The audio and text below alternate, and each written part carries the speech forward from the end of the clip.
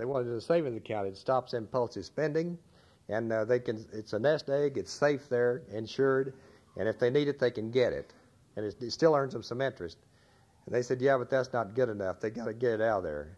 And I said, just like the family farm where the guy sells some eggs or some cream, and he takes that money and maybe bury in the backyard. Used to, but he's got that money as a nest egg, and nobody knows anything about it, and he can't write checks on it.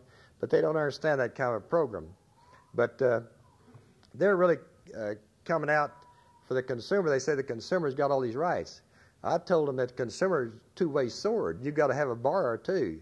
If you help one consumer make 15, 16 percent on his money market certificates, you're going to kill this guy's borrowing money in the farm industry. And the farm farmer banks, we hate this. The 15, 16 percent money market interest. They keep saying you've got to compete with the money market mutual funds we compete with them, but my God, the uh, farmers and ranchers will never ever be able to compete by paying that. You've got the far, the uh, the farmer that bar- borrows the money. You've got some people that loan the money to the bank. The lenders are making a pretty good deal now, but the borrowers are getting killed. But if you've got a locally owned bank in your community, encourage him to be politically active. I'd put it that way, along with the NFO people. I mean, you're politically active and tell your banker to get out of that chair once in a while and go to go to work for, to keep his bank too. Any other questions? I'm sorry it couldn't be more. Yes, sir.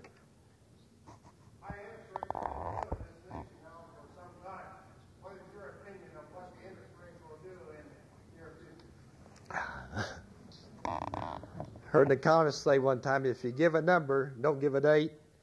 If you give a date, don't give a number. so uh, I think the interest rates are going to come down for a, a, few for a few more months because there's nobody doing anything in the in business in the business world. The unemployment is high, and uh, it takes a while to turn this big machine around, which is United States production and manufacturing and building. It'll take a long time to turn it around, I believe. And when the people aren't borrowing money to actively do things, which is bad for the country, then I think interest rates stay down because the government's is the only thing that'll put the interest rates up right now, and they're borrowing over 50. I think they're borrowing 53 percent of all funds available to borrow in this country. The United States government is. So you got a real competitor there for the money. But I think they're going to stay down for a little while, and then I think they'll ease back up again. Like uh, maybe they'll come down for the next four, five, six months, and then I think they'll work back up a little higher. But I don't think they'll. Uh, I'll cross my fingers. I don't think they're going to go as high as they were. I hope not. Actually, the banks, we made more money percentage wise when we were making farm and, and cattle loans for 5 and 6%. And you know, they say that the American uh, saver finance and uh, subsidize the farmers even at that. Because we could take that money, we're, we're paying 2% for savings and CDs. We loaned for 6%, we made 300% profit. So percentage wise, we did a lot better at 6% loans, and so did the farmer. We, we should be back there. Any other questions? Yes, sir.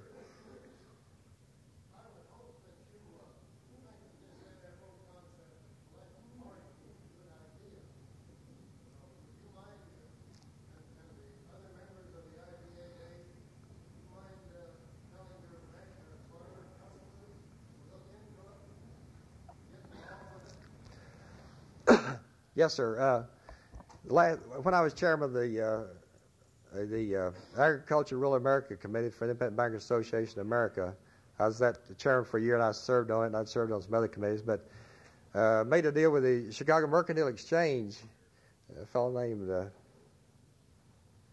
John Grant, I believe. Anyway, we we got together, this fellow in Chicago and I did, and uh, set up some seminars for bankers, bankers only. And uh, we have a commodity seminar twice a year, and we're looking maybe three times a year for bankers. And it's the best attended seminar we've got. And it teaches bankers what the the mechanics of this thing is. They take us down to the trading floor, and they have a very, very good instructors. People, you know, these people who have seats on the exchange come in and talk to us about this for two days, and then uh, send us home. But at least the bankers know what's going on and how the thing works. And uh, we've had some very, very good seminars, and, and as president of the Independent Bankers Association of America, I'm going to push for that program as much as I can because I initiated it when I was chairman of the Agriculture Committee, and I still think it's a good idea because I've got customers out there that have feeder cattle, they have calves, they have wheat, and if they can hedge that and uh, see a profit in, I think that you know you can't go broke taking a profit. And I, am for you 100%. I think your concept is great. Yes, sir.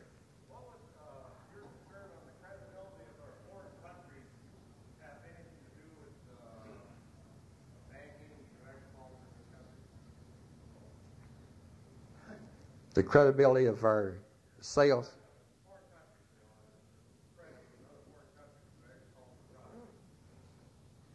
I think the credibility, uh, any, anything you do like that affects everything that, uh, anything you deal with. If I had a, a customer lied to me about uh, anything, I'd suspect that he'd lie to me about everything, maybe. And back out on a deal. You know, this one bank, the Wilmore State Bank, that has said uh, here that I bought in 1970, I told some of my banker friends this, and none of them believe it. Fellow owned this bank in uh, Lawrence, Kansas. His family did, and he there was absentee ownership, and I could see why it didn't make any money because nobody's interested in the thing.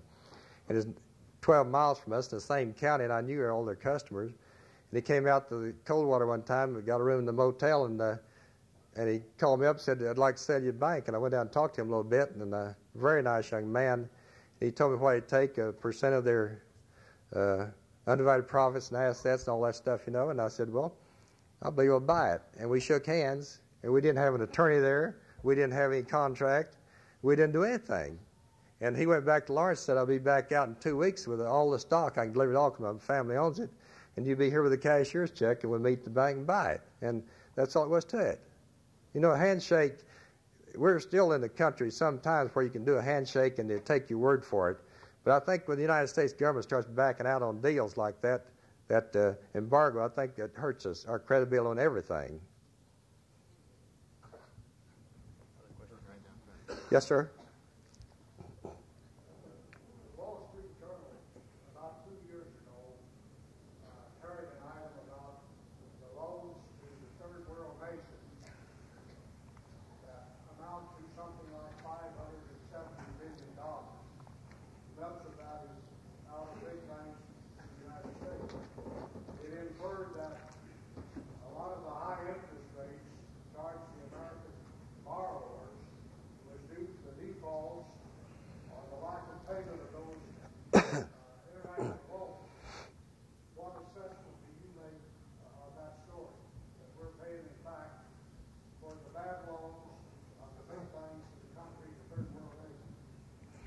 I think it has a real impact because uh, uh, that's why a lot of these city banks will offer you all kinds of interest if you want to deposit some money with them because they've got a place to go. They loan a lot of money to Poland and Argentina and Mexico and and uh, Brazil. Brazil's a good borrower, and uh, they get big interest rates promised.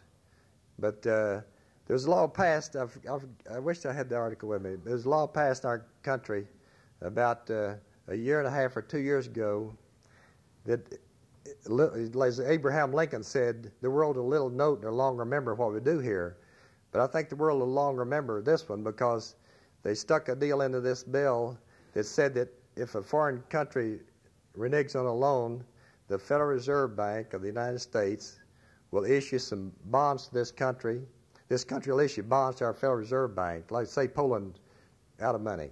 They issue, they can issue, say, $40 billion worth of bonds sell them to the Federal Reserve Bank of our country, which we own, and turn around and give the Poland the $40 million, $40 billion, and then Poland can pay off these American banks with it.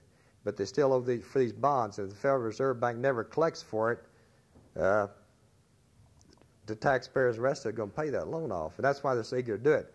Uh, the reason that the United States hasn't dropped the hammer on Poland is because European bankers over there say that if you drop the hammer on Poland, which they've all got money in there too, we're going to give you back Argentina.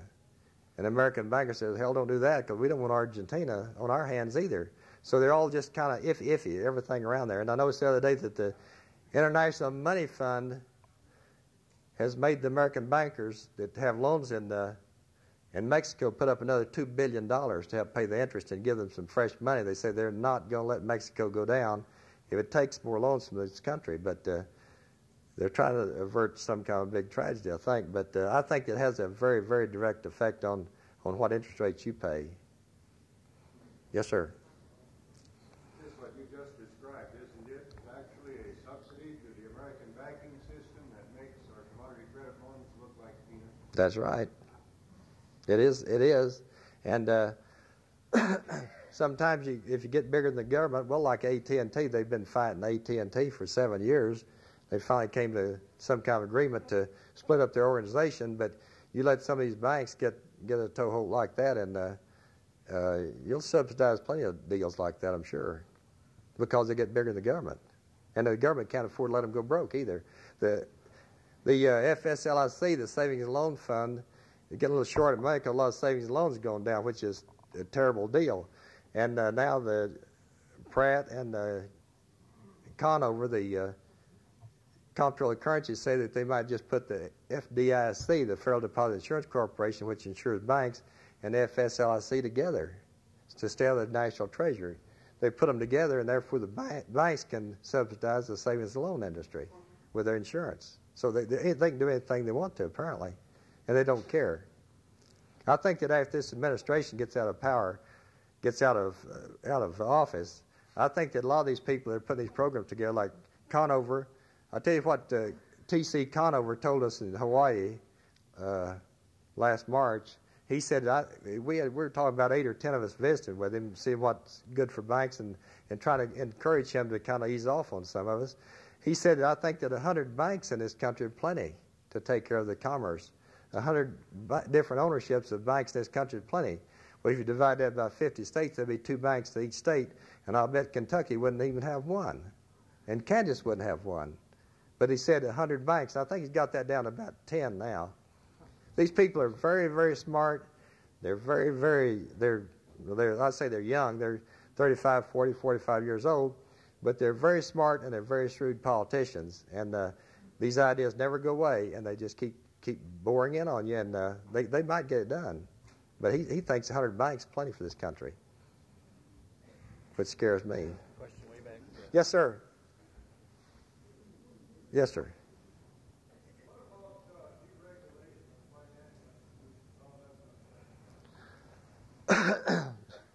that that's a deregulation is a kind of a misnomer in a way. If they're going to deregulate the banks and financial industry, where uh, you can go into Sears Roebuck or Merrill Lynch or a place like that, and he say, "How about uh, selling you a money market certificate today and ten thousand dollars?" Well, I don't really want to do that. He's well, how about selling you a pair of shoes?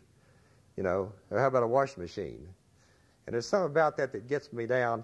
Uh, I, I, have a theory that uh, money as a commodity is different from a pair of shoes or a, or a set of tires for your car. There's a, there's a deal that I think that if uh, you don't have confidence in the currency of your country, you can't even have a government.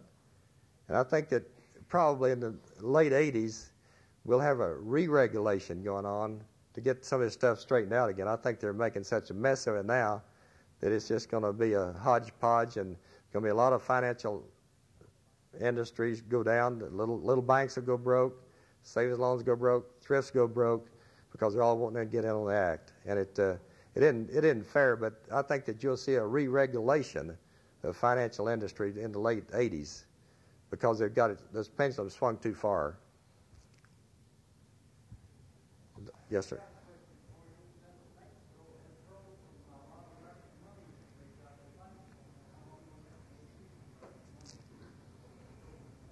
How long is Mexico going to keep these funds frozen? I think uh, quite a while till they get their uh, economy straightened out. Uh, the, United States is walking a pretty good tightrope with them. They're trying to be good friends with Latin America. And I think the United States won't pressure Mexico at all to get these funds turned loose for quite a while yet, till Mexico gets back on its feet a little bit, which will be quite a while, I think, because they're in bad shape. The Mexican president, though, they say going to increase the export of oil 200, uh, 100, 100 million barrels a day. They're now, now exporting a million, million and a half barrels. He's going to export two and a half million. They don't even start to have the facilities for it.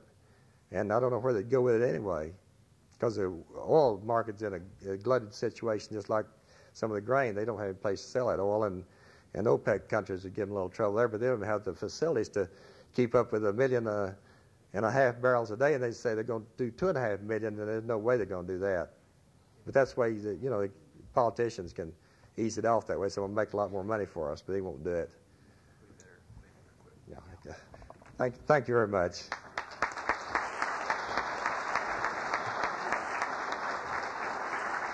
We're just about ready to, to wind it up. Uh, Don Mack uh, wanted me to tell you he's going to be outside of the door here, and he's got uh, a tape out there on sale that we've just had a tremendous amount of requests for, and it's one of the uh, it's the best of Here's Info Radio, and it's NFO forward contracts versus hedging. Now, this is one that you can play to almost anybody and explains our position. So he'll be outside the door. We want to thank each and every one of you for coming tonight.